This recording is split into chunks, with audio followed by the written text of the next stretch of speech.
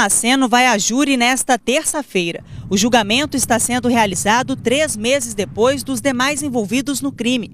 Marcelo é acusado de intermediar a contratação dos executores, que dispararam contra a universitária Ana Paula Ramos em agosto de 2017. Na época do julgamento, em julho deste ano, um dos jurados teria ouvido uma conversa sobre o Marcelo quando foi ao banheiro, o que fez com que a dissolução do julgamento fosse necessária. Segundo o Tribunal de Justiça, ele não foi julgado com os outros réus por questões técnicas. Para a família da vítima, não será fácil ter que relembrar toda a história. Para nós é, é horrível, né? Que a gente tem que reviver tudo de novo e fica futucando uma ferida que não cicatriza nunca, né?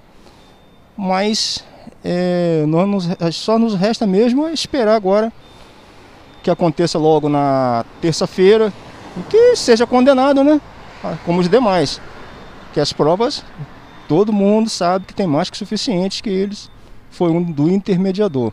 Luana Barreto Sales foi condenada a 24 anos de prisão. Ela era cunhada e amiga da vítima e apontada pela acusação como a mandante do crime. O Hermisson Carlos Sigmaringa e Igor Magalhães de Souza, os executores, foram condenados a 13 anos de prisão. Para o pai de Ana Paula, a justiça foi feita. Para a gente não foi surpresa, entendeu?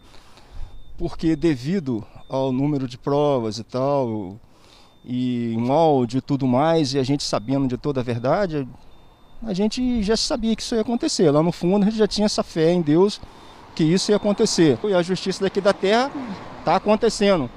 Mas a que eles têm que temer mesmo vai ser de Deus. Luana teria pago aos criminosos R$ 2.500 para que tirassem a vida de Ana Paula.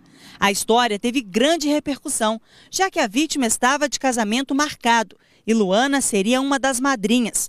A frieza da acusada chamou a atenção dos investigadores. Ela e os executores cumprem pena nos presídios de Campos. Para a família, não tem um só dia que eles não lembrem de Ana Paula.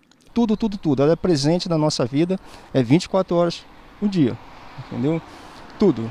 Não tem como. A gente não esquece jamais, nunca vai esquecer. Essa dor vai ser. Só vai parar mesmo quando Deus vier nos buscar.